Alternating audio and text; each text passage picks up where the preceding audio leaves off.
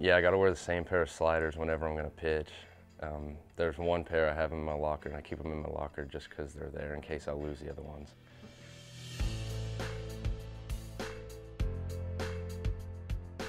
Mark Payton from Texas, he was, he was pretty tough. It seemed like he got on every single time.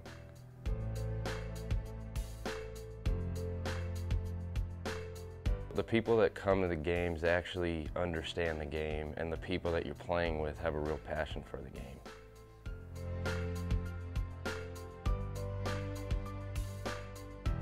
I like Bull Durham. That one's fun.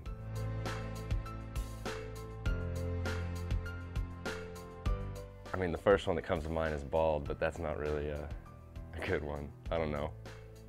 Passionate.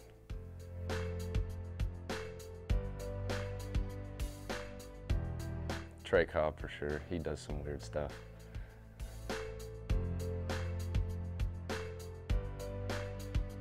Probably somebody funny, funny and weird, like Jon Heder.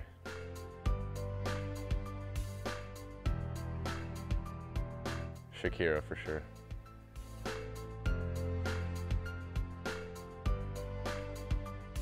To dance, I can't dance at all.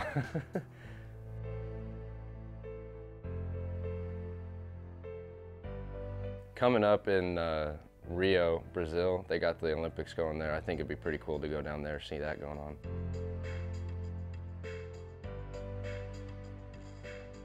Mostly any country, any country song.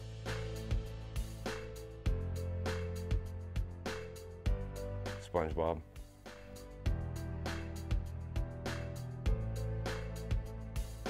People will be surprised to know that I really have no baseball knowledge of like people playing the game right now.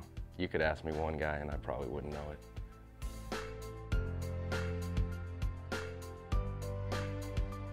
I want to see most of the 50 states in America. I want to go to most of the uh, professional baseball parks and I want to work in my uh, family business.